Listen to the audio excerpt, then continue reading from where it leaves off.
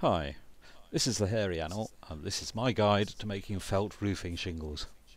Ready-made felt shingles are a stylish way of covering a gazebo or summerhouse roof, but they're quite expensive.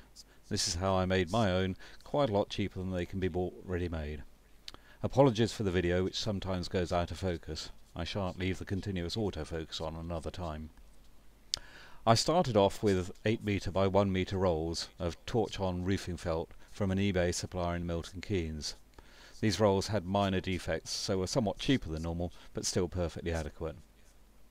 Having decided on the style of tile I was going to make, I made a template from hardboard and calculated that to get a sufficient overlap between strips, I'd get two out of a 19 inch strip.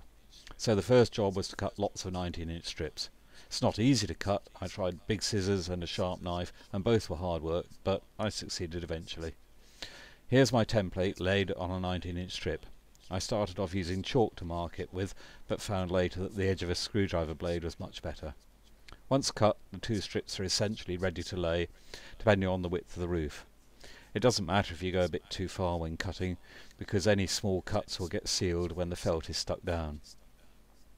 The strips are alternated to get a tiled effect and then attached to the roof by gently heating with a blowtorch which burns off the protective plastic layer then melts the tarry backing.